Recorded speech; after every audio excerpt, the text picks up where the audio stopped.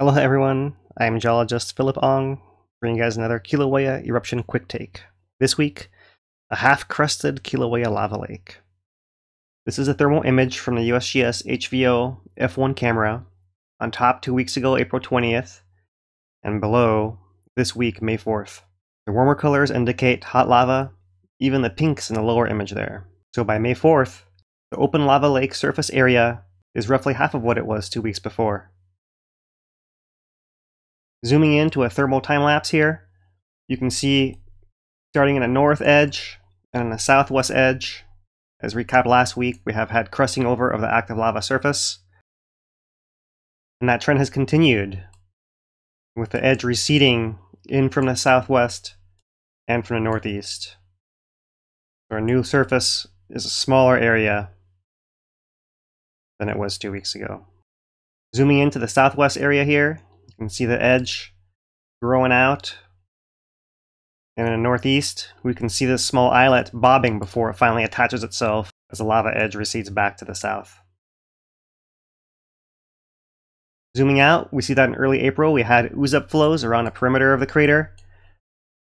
Since then, we haven't seen any overflows from the west vent, and only the receding from the northeast and the southwest. Recent USGS mapping reveals that by April 16th, 93% of the entire lava eruption area had already been crusted over. So this last increment maybe gets us closer to 96 or 97% of the entire eruption area crusted over. Looking more closely here, and a little bit slower at activity since the start of May, we can see a main pathway of flow from beneath the west vent at the established entry point, putting out flows that seem to crust over before the crust breaks and we reopen the surface. And only minor foundering, crust overturning in some of the perimeter areas here. This flow is going beneath the edge of this big island, which has been affixed to that eastern crust for several months now. We also see cooling edges and topography emerging that may disrupt this pathway in the near future. We also expect to see sagging in some of these areas down in an order of 10 to 12 feet, similar to what's happened in the southwestern crust as documented by the USGS HVO.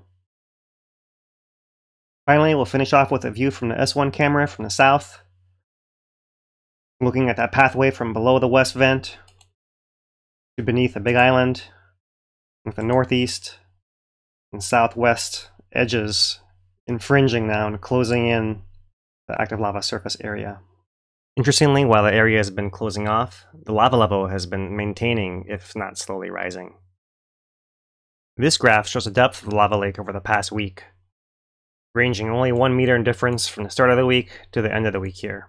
And it mirrors the tilt we've seen on the volcano during that same time. So coming out of a deflation, inflation event, another one afterwards, is the same pattern we see, on average, shown in a lava lake depth as well. But despite all the contraction and crusting over, the lava level has, in fact, been slowly rising, ending at a higher level than it began a week ago. So there's a weekly tilt. Here's a monthly tilt, showing the most recent two deflation inflation events as part of a pattern that's been common throughout the whole month. Recent USGS updates have noted that while the emissions during this eruption have been decreasing, that has happened independent of the summit tilt. That while the tilt was increasing, the gas levels on a volcano were decreasing, breaking a pattern that was present earlier. From mid-February to mid-April, SO2 emissions averaged over 800 tons per day, as seen in these few data points here at the beginning of April.